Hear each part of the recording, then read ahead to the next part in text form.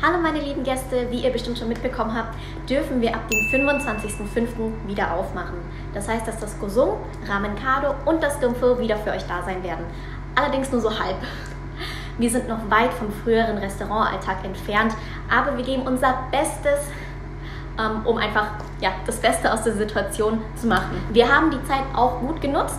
Wir haben nämlich an unserem Hygienekonzept gearbeitet und auch einige interne Umstrukturierungen vorgenommen um euch jetzt in der Nachquarantänezeit einfach den bestmöglichen Ablauf gewährleisten können.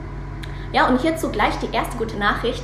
Das Rahmenkado und das Gimfir werden zusammengelegt. Das heißt, egal wo ihr sitzt, ihr könnt aus einer Speisekarte bestellen. Die Krise hat also nicht nur uns kreativer gemacht und uns zusammengeschweißt, sondern auch wortwörtlich unsere Restaurantkonzepte zusammengeschweißt.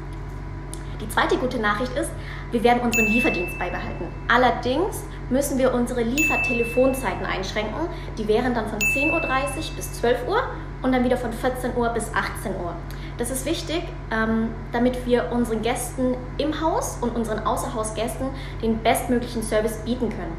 In der Rush Hour müssen wir uns erstmal um die lieben Gäste vor Ort kümmern und können in der Zeit eben keine telefonischen Bestellungen mehr annehmen. Die dritte Nachricht ist, ähm, wir dürfen wieder Reservierungen aufnehmen. Da wir nur begrenzt Tische haben, sind Reservierungen natürlich sehr erwünscht. Und ihr würdet uns einen riesigen Gefallen tun, wenn ihr gleich mitfragt, ob eure Arbeitskollegen, eure Familie oder eure Freunde, die sowieso vielleicht bei uns essen wollten, gleich mitfragt, ob sie gleich mit reservieren möchten.